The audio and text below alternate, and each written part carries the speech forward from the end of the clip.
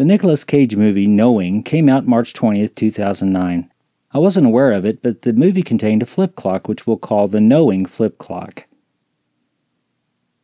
In the movie, John Koestler, Nicolas Cage, looks over at his desk, sees the clock at 11:59, then a close up as it flips to 12, and another one as it flips from 328 to 329.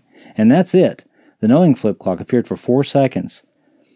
John Koestler was an MIT professor whose son Caleb came across a list of numbers that had been drawn up and placed into a time capsule 50 years earlier by a disturbed young lady named Lucinda Embry who was being influenced by what they called the Whisper People. John Koestler found out these numbers detailed every major disaster with major deaths for the for the last 50 years. Koestler witnessed two of the last three that was predicted. The ultimate one that was predicted was the end of the world. So John set out, with help of the daughter of the, the troubled child and the granddaughter, to try to stop this. Well, the Whispers were talking to their children as well. It turns out they were aliens who had a plan to save the human race. I knew it. The knowing flip clock. So we'll look at this in a little more detail. The numbers in the movie have nothing to do with the clock. Now you'll find a lot of people on the internet trying to make a connection. There's people even say that this here predicts the nuclear disaster in Japan that happened a couple years after the movie, and that these indicate dates or something like that. I really don't think so. I think the clock is just a clock. And like I said in the first part, it, it shows the next day passing. Here I've uh, highlighted the clock so we can actually see it a little better. It's a Copal, and it's rare because they usually try to hide the brand of a clock when it's in a movie. This happens to be the Copal Model T7, and it has an alarm function no radio. Uses a D cell battery. Kind of got rounded edges. Real nice clock. And here it is in the Flip Clock Fan Studios. And we find a clock that's 7 inches wide, about 5 inches tall, and a little over 3 inches deep. And you can see there what uh, passes for a whirligig, very slowly moving there. You can see the name tuning fork. So the clock is of a tuning fork variety, and I have actually never seen the clock before, and I cannot find another one like it on the internet. So that's the alarm. That's how you set it on. So what we're going to do here is how you adjust the alarm. We're going to go ahead and adjust the alarm so we can hear what this sounds like. Now the funny thing is you got to go really slow when you come up on this.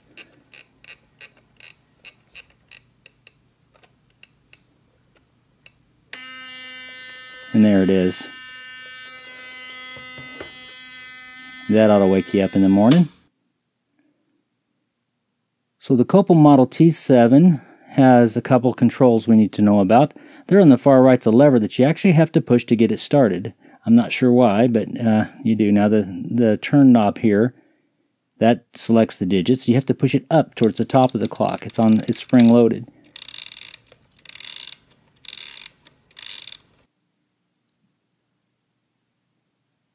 On the back here we see two screws and those are the only two you need to take off to disassemble. Under the battery there's two more screws and you can see two screws to the left of the battery. That's to the clock mechanism. You don't have to take those out. You want to go ahead and get a view of the clips. Those are actually clips that are going to drop out and kind of see how they're oriented for when you put the clock back together.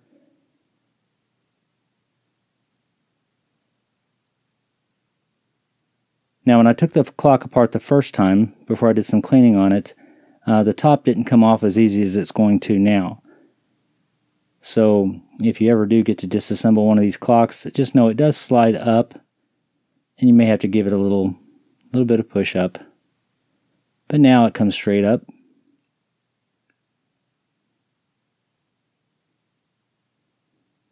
So what you're looking at here is actual glass. That's not plastic. So it looks great after all these years.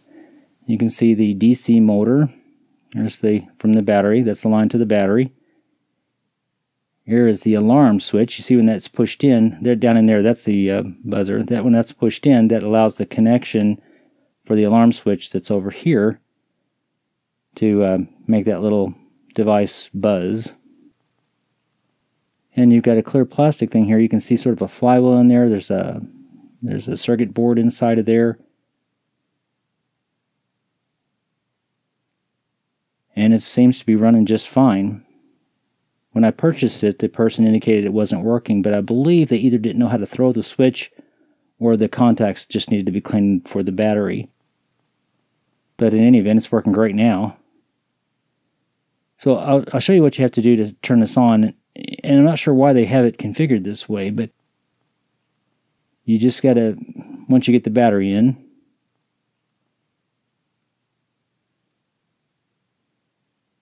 which I'm seeming uh, to have some trouble there. Okay, so now it's not on. As you see, you might be able to see, there's there's a flywheel there, and it's not moving at all.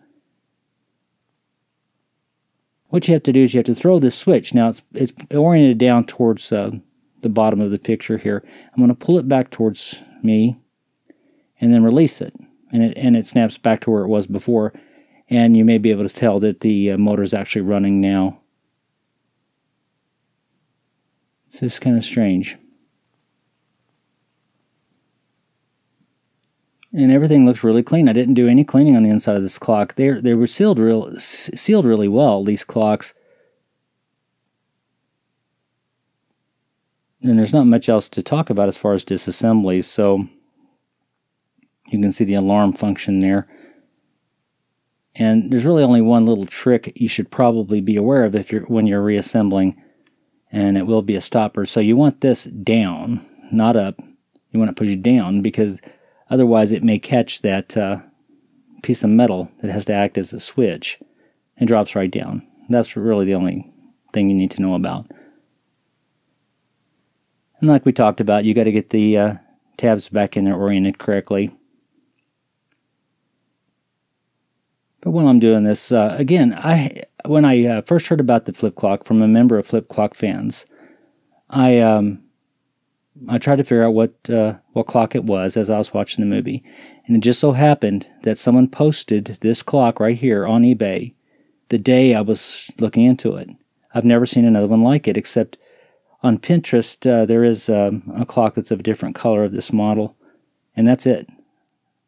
So it's fairly rare, evidently. Now, when you're using these uh, these automatic drills here, you got to be careful. And I'm I'm anticipating that you could crack the case, so I just want to do a fine the last little bit of tightening here. And you do not have to crank these down when you're reassembling this or any flip clock. There is a tendency to get over aggressive.